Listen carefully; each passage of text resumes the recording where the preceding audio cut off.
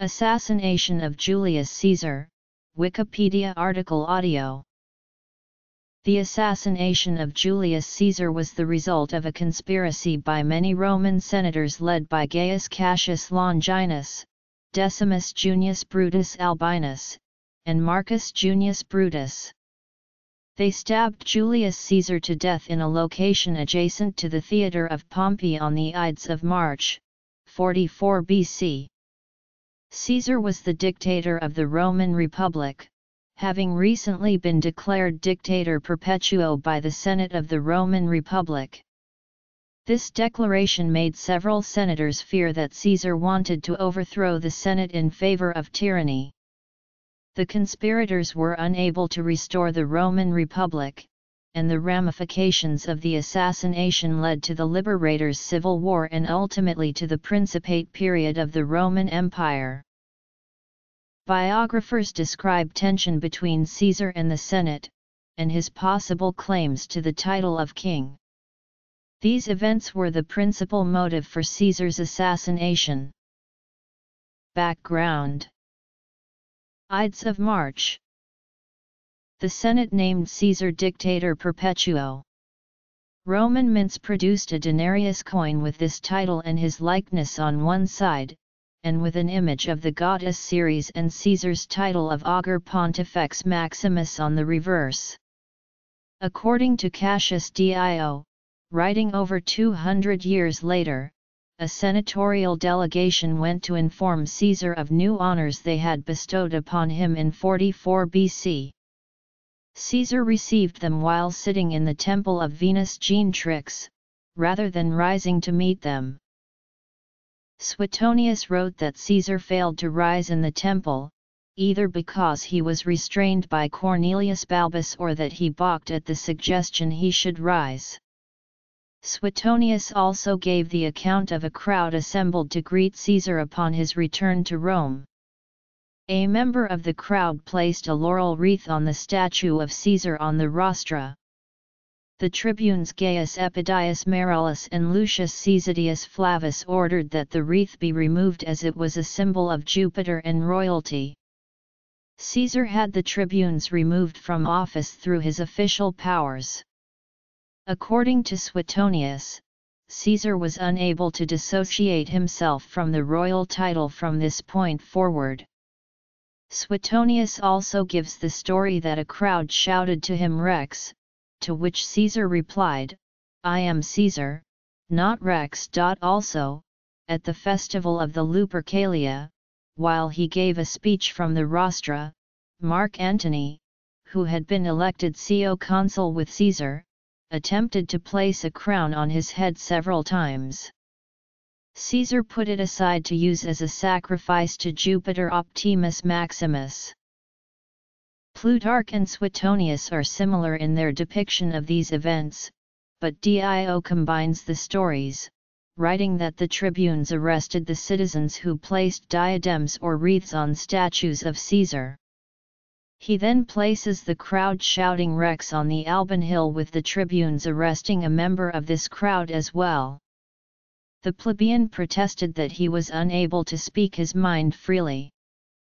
Caesar then brought the tribunes before the Senate and put the matter to a vote, thereafter removing them from office and erasing their names from the records. Suetonius adds that Lucius Cotta proposed to the Senate that Caesar should be granted the title of king, for it was prophesied that only a king would conquer Parthia. Caesar intended to invade Parthia, a task that later gave considerable trouble to Mark Antony during the Second Triumvirate. His many titles and honors from the Senate were ultimately merely that, honorary. Caesar continually strove for more power to govern, with as little dependence as possible on honorary titles or the Senate. The placating and ennobling of Caesar did not allay ultimate confrontation, as the Senate was still the authority granting Caesar his titles. Formal power resided in them, resulting in tension with Caesar. Portentous events Brutus began to conspire against Caesar with his friend and brother-in-law Gaius Cassius Longinus and other men, calling themselves the Liberatores. Many plans were discussed by the group, as documented by Nicolaus of Damascus.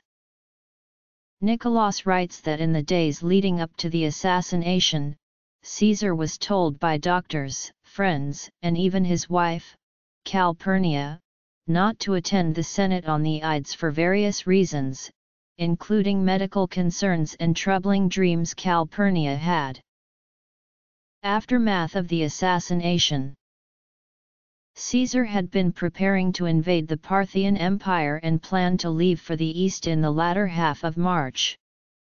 This forced a timetable onto the conspirators.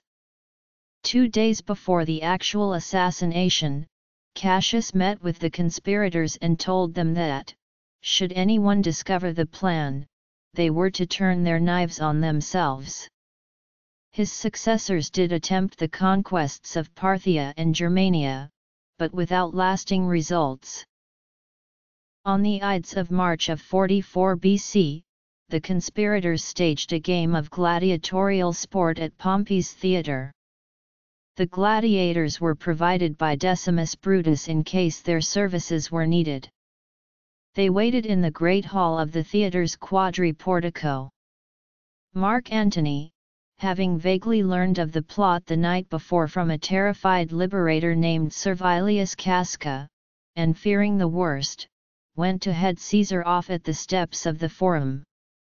However, the group of senators intercepted Caesar just as he was passing the theatre of Pompey, located in the Campus Martius, and directed him to a room adjoining the east portico of the theatre of Pompey. According to Plutarch, as Caesar arrived at the Senate, Lucius Tillius Cimber presented him with a petition to recall his exiled brother. The other conspirators crowded round to offer their support. Both Plutarch and Suetonius say that Caesar waved him away, but Cimber grabbed Caesar's shoulders and pulled down Caesar's toga.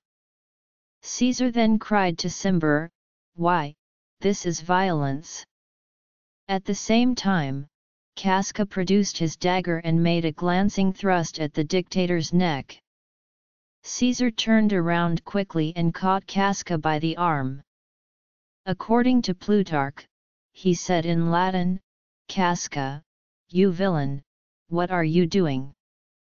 Casca, frightened, shouted help, brother. In Greek. Within moments, the entire group, including Brutus, were stabbing the dictator. Caesar attempted to get away, but, blinded by blood in his eyes, he tripped and fell, the men continued stabbing him as he lay defenseless on the lower steps of the portico. According to Eutropius, 60 or more men participated in the assassination. Caesar was stabbed 23 times. Suetonius relates that a physician who performed an autopsy on Caesar established that only one wound had been fatal. This autopsy report describes that Caesar's death was mostly attributable to blood loss from his stab wounds. List of conspirators Caesar was killed at the base of the Curia in the theatre of Pompey. The dictator's last words are a contested subject among scholars and historians. Suetonius himself says he said nothing, nevertheless, he mentions that others have written that Caesar's last words were the Greek phrase kappa alpha sigma, tau kappa nu omicron nu. Plutarch also reports that Caesar said nothing, pulling his toga over his head when he saw Brutus among the conspirators. The version best known in the English-speaking world is the Latin phrase et tu, brute. This derives from Shakespeare's Julius Caesar, where it actually forms the first half of a macaronic line, et tu, brute. Then fall, Caesar. This has no basis in historical fact. Shakespeare was making use of a phrase already in common use at the time. According to Plutarch, after the assassination, Brutus stepped forward as if to say something to his fellow senators not involved in the plot, they, however, fled the building. Brutus and his companions then marched to the Capitol while crying out to their beloved city, People of Rome, we are once again free. They were met with silence, as the citizens of Rome had locked themselves inside their houses as soon as the rumor of what had taken place had begun to spread. According to Suetonius, all the conspirators made off, and he lay there lifeless for some time, and finally three common slaves put him on a litter and carried him home, with one arm hanging down. A wax statue of Caesar was erected in the forum displaying the 23 stab wounds. A crowd who had amassed there started a fire, which badly damaged neighboring buildings. In the ensuing years a series of civil wars resulted with the end of the Republic and the rise of Imperial Rome. Virgil wrote in the Georgics that several unusual events took place following Caesar's assassination. Who dare say the sun is false? He and no other warns us when dark uprising threaten, when treachery and hidden wars are gathering strength. He and no other was moved to pity Rome on the day that Caesar died, when he veiled his radiance in gloom and darkness, and a godless age feared everlasting night. Yet in this hour earth also and the plains of ocean, ill-boding dogs and birds that spell mischief, sent signs which heralded disaster. How oft before our eyes did Etna deluge the fields of the Cyclopes with a torrent from her burst furnaces, hurling thereon balls of fire and molten rocks.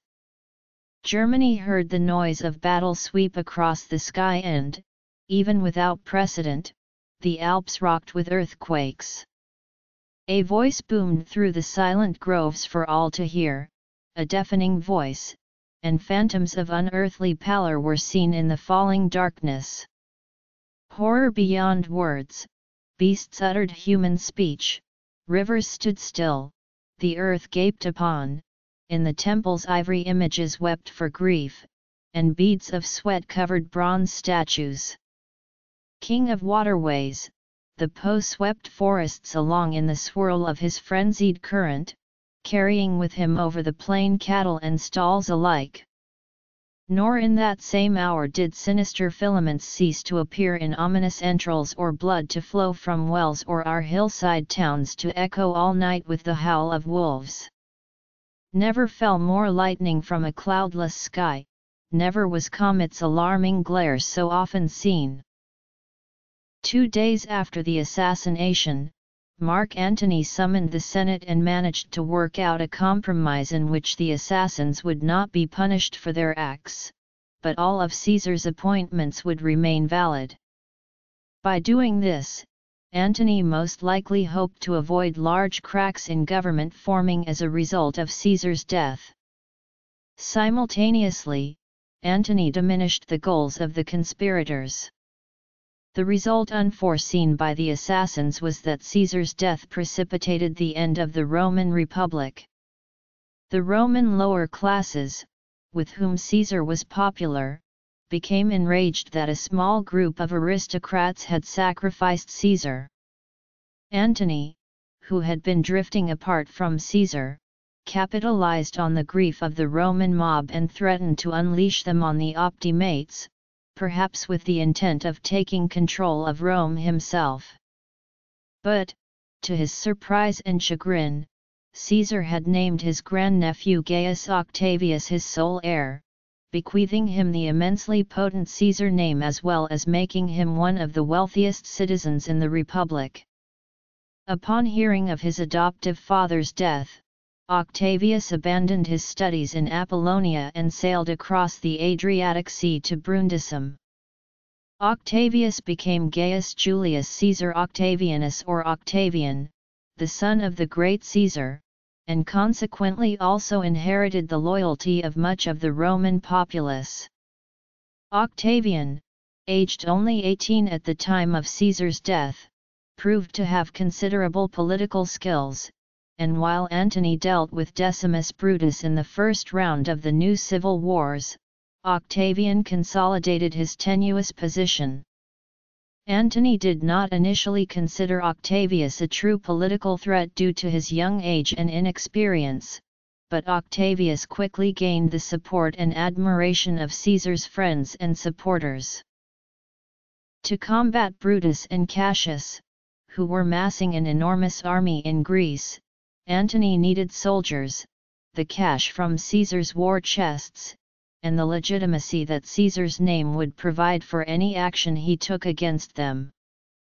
With passage of the Lex Titia on November 27, 43 BC, the Second Triumvirate was officially formed, composed of Antony, Octavian, and Caesar's master of the horse Lepidus. It formally deified Caesar as Divus Iulius in 42 BC, and Caesar Octavian henceforth became Divi Filius. Seeing that Caesar's clemency had resulted in his murder, the Second Triumvirate brought back proscription, abandoned since Sulla. It engaged in the legally sanctioned murder of a large number of its opponents in order to fund its 45 legions in the Second Civil War against Brutus and Cassius. Antony and Octavian defeated them at Philippi.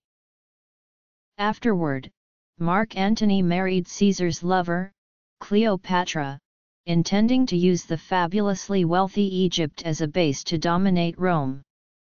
A third civil war broke out between Octavian on one hand and Antony and Cleopatra on the other.